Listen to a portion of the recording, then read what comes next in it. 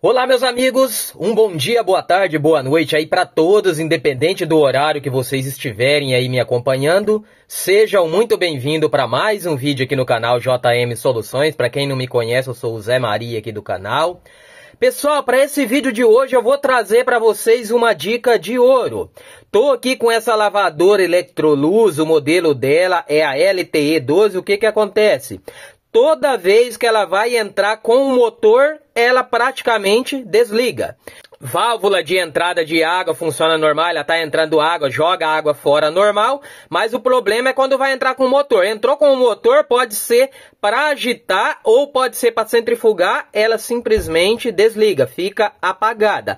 Esse defeito aqui é um defeito na placa de potência. Vou compartilhar aqui com vocês como que faz a recuperação desse defeito aqui de forma bem simples, ok? Então, se você quer ver como que executa esse serviço, fica comigo até o final do vídeo. Lembrando, se você ainda não é inscrito no nosso canal, clica no botãozinho logo abaixo aqui, se inscreva no canal JM Soluções, porque toda semana a gente traz novidades, traz vídeos novos aqui, com certeza um vídeo ou outro sempre vai te ajudar aí no dia a dia. Já vai logo abaixo também, verifica se o seu sino de notificações está ativado com a opção todos, porque dessa forma, todo vídeo que a gente subir aqui no canal, a partir do momento que a gente subir o vídeo, se você tiver com a opção todos do sino aí ativado, o YouTube já vai te mandar uma notificação para você não perder nenhuma novidade. Já vai logo abaixo para você não se esquecer deixa aquele joinha, isso com certeza ajuda a fortalecer o canal. E como forma de retribuir, eu tenho um compromisso de toda semana compartilhar o meu serviço e trazer muitas novidades aqui para vocês, beleza? Então vamos aqui, deixa eu colocar aqui para vocês, é, vou ligar ela. Presta atenção, ó. Ela vai armar o atuador, ó. Olha lá. Desligou, tá vendo? É que aqui o defeito dela se deu quando foi interrompida a centrifugação. Aí quando coloca na tomada, toda vez, quando interrompe a centrifugação, ela dá aquela rodada antes para armar ali a catraca para ficar no modo de agitação.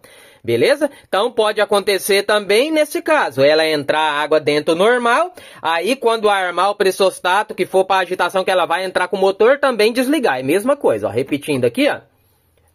Ela entra com a bomba, daí quando vai entrar com o motor para dar aquela rodada, ela desliga, ó. Olha lá, tá vendo? Defeitinho nessa placa aqui.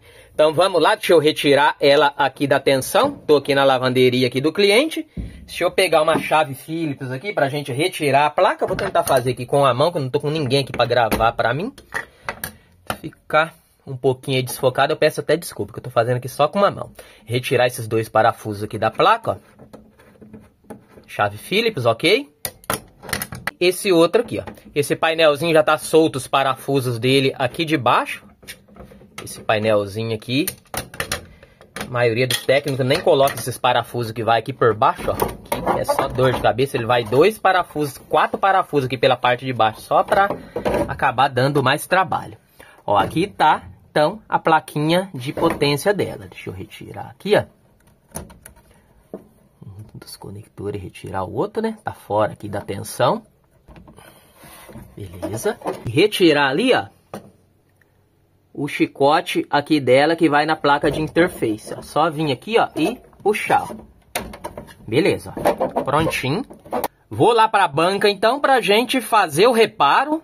Para vocês verem como é bem simples fazer o reparo nesse modelinho de placa para quando pegar esse tipo de defeito e depois trazer ela aqui na máquina depois de feito o reparo para a gente colocar aqui novamente vocês vão ver que vai ficar ok.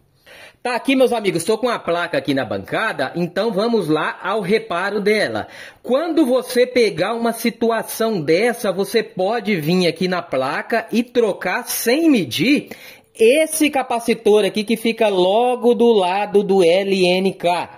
Tá vendo? Praticamente todas essas situações que eu peguei com esse mesmo tipo de defeito, só foi trocar esse capacitor, a placa voltou a funcionar normal. O que que acontece? Esse capacitor aqui, ele acontece de ter alguma fuga, ele vai perdendo a capacitância dele e com isso, quando a placa vai entrar com o motor, aciona a proteção, a placa praticamente desliga como vocês viram. E essa dica de ouro que eu tô passando aqui para vocês, pessoal, não serve só para esse modelinho de placa da LTE 12. Serve para os outros modelos também. Serve para o modelo LTE 12 versão 3, que já é esse modelo aqui de placa, ó. Serve LT15F, LT12F, LTD12, LTD15, uma infinidade de lavadora que é também esse modelinho de placa. Mas no caso, para esse modelinho de placa tem que ser trocado esses dois capacitores. O valor desses capacitores aqui, que eu não falei para vocês, ele é 4,7 microfarad, né? 4,7 UF por 400 volts. Então todos eles, ó, esse e esse daqui, ó, e esse daqui, 4,7 por 400 volts. Vou retirar ele aqui, ó. A gente tem que fazer um corte aqui no silicone.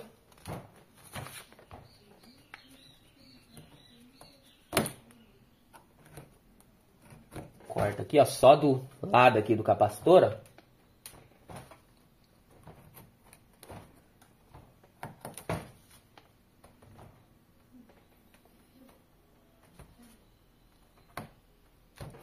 Beleza, vamos aqui agora na parte de baixo, ver onde ele está aqui, ó, ele está bem aqui, ó. Abre só o lugar que está ele aqui, ok? Cuidado não afundar muito a faquinha para não acabar cortando a trilha.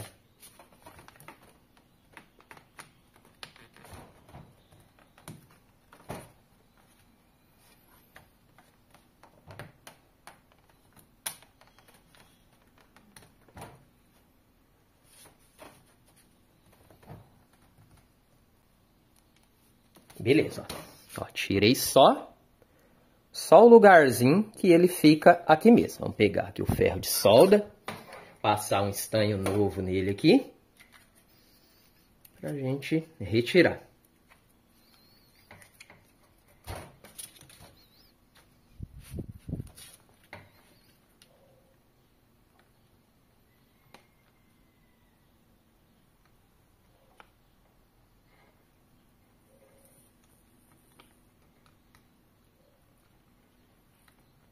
Eu posso esquentar por aqui, ó. E do lado aqui, só dar uma dobradinha nele aqui que ele já sai. Depois de passar um estanho novo, tá? Que ele fica molinho. Não, não faz isso sem passar o estanho que acaba soltando a trilha dele, ó. Ó, beleza, ó. Já consegui retirar ele aqui. Só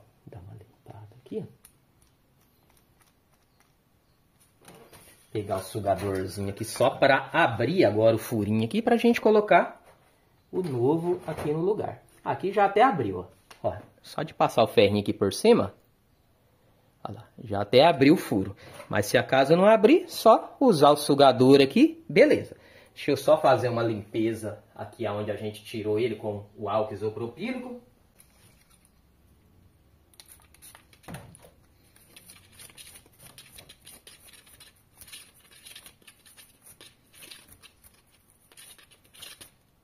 Beleza. O lado de cima aqui não tem precisão. Agora vamos pegar aqui o capacitor novo. Tinha pegado aqui, até perdi. Deixa eu pegar outra aqui. Vou pegar outra aqui então. A gente... Ah, tá aqui, ó. O que eu tinha pegado, tá bem aqui, ó. É do, do mesmo aqui, tá? Achei que eu tinha perdido.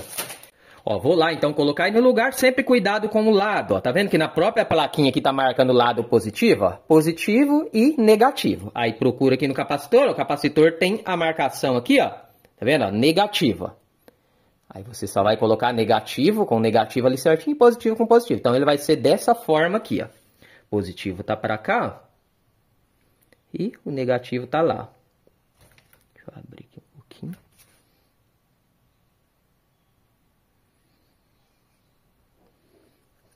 Tá ok, ó. Então, vou dar uma dobradinha aqui. E vamos lá fazer... Estanhar ele aqui, né?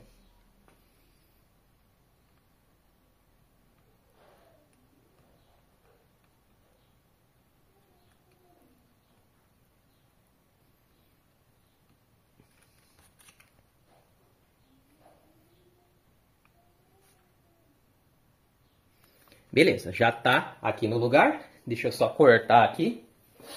Cortar um pedacinho aqui da, da haste aqui que é grande, né?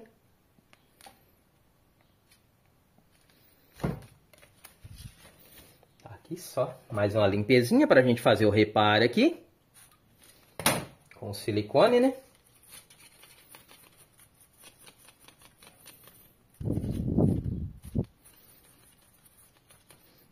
Bem encostadinho, ó. Lá, ó, tudo belezinha. Beleza, agora vou pegar o silicone ali pra gente fazer o acabamento. Não deixa assim para não pegar umidade, tá pessoal? Ele já tem essa proteção aqui para não dar umidade aqui nos componentes. Então, se você deixar um furinho aqui, você pode reparar que com o tempo fica tudo pretinho aqui pro lado de dentro, porque vai entrar umidade por esse furo que você abriu aqui. Então, muito importante fazer o reparo aqui, para não deixar nenhum furinho. Vou pegar o silicone para a gente fazer aqui esse reparo do furo. Ó, beleza, aqui eu gosto sempre de fazer esses reparos em placa com a cola quente, tá? Bastão aqui, ó, de cola quente. Isso daqui é ótimo, a vantagem é que seca bem rápido, beleza? Você passou aqui, ó, aguarda aí no máximo um a dois minutinhos, já seca rapidinho, ó. Preenche tudo, ó. Vem fazendo aqui pela lateral, ó. Ó, a vantagem de deixar aquela barreira ali que eu falei pra vocês, que ela ajuda a segurar e você não precisa fazer escora nenhuma.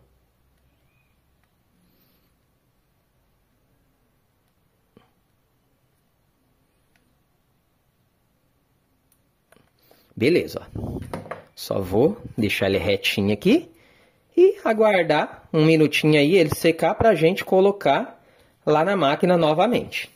Ó, já esperei um tempinho aqui, ó, secou bem, tá? Olha como que veda, que é uma beleza, ó. Aqui não entra umidade mais de jeito nenhum. Depois que secar também, não esquece aqui pro lado de cima, ó, que mexeu aqui, né, na proteção para não entrar umidade também por cima. Vem aqui em volta,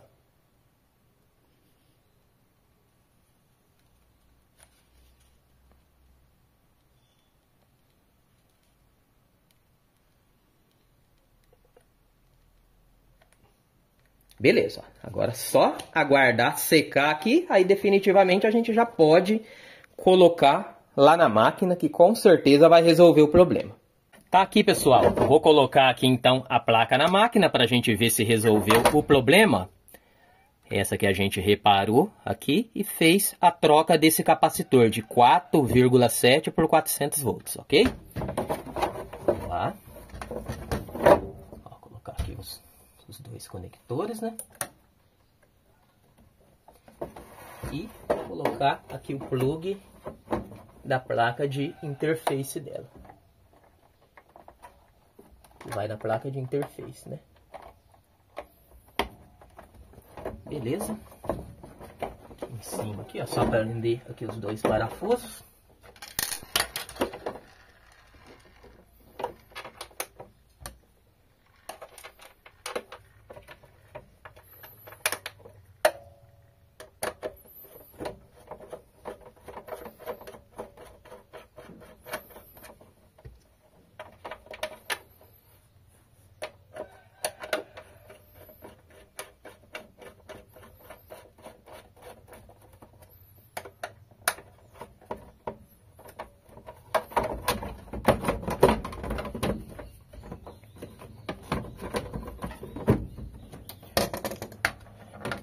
colocar o botão aqui do encoder.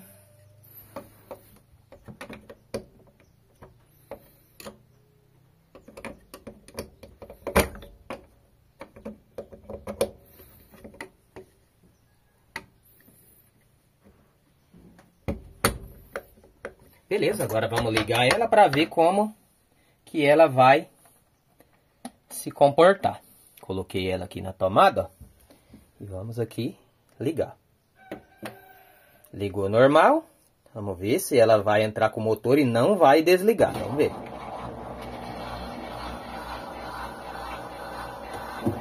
Ó. Maravilha, ó. Defeito resolvido. Vamos esperar agora, coloquei aqui no nível baixo, esperar ela dar um nível baixinho, que ela vai entrar com o motor sentido horário e anti-horário, para ver também se vai bater normalzinho e não vai desligar. Mas com certeza aqui resolveu o problema. Você viu que nem para dar essa pequena iniciada com o motor aqui para armar a catraquinha lá embaixo, ela já desligava. Beleza?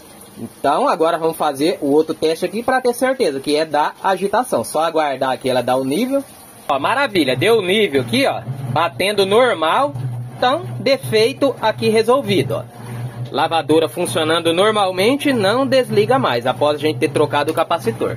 É a mesma placa, tá? Deixa eu mostrar, ver se consigo levantar, mostrar aqui pra vocês, olha lá, ó.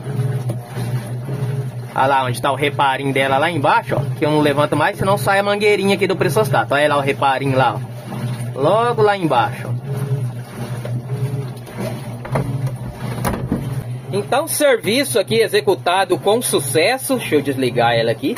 Fica mais essa dica de ouro aqui para vocês, para quando pegar uma situação dessa, ó, Pode comprar um capacitorzinho desse daqui, você vai pagar aí R$1,50 custa aqui na minha região, nos lugares que vende componente eletrônico. Com apenas R$1,50 você vai recuperar uma placa aqui original, que é da tua máquina, que custa aí na faixa de 300 reais, beleza? Então, enfim, finalizando essa dica de ouro aqui que eu passei para vocês de hoje. Lembrando, se ainda não se inscreveu no nosso canal, não perca tempo, se inscreva aqui no canal JM Soluções, porque toda semana aqui a gente traz vídeos vídeos novos, com certeza um vídeo ou outro sempre vai te ajudar aí no dia a dia. E muito obrigado para você que deixou o seu joinha. Se você ainda não deixou o seu joinha e você gostou desse vídeo, se esse vídeo lhe ajudou de alguma forma, contribuiu aí para o teu conhecimento, não se esqueça de deixar o seu joinha. Isso com certeza ajuda a fortalecer o canal, ajuda o vídeo a tornar-se mais relevante. E isso só dá mais ânimo para eu sempre trazer novidades como essa que vai facilitar muito o dia a dia aí de vocês, ok? JM Soluções, a sua melhor opção. Um abraço e até o próximo vídeo, meus amigos.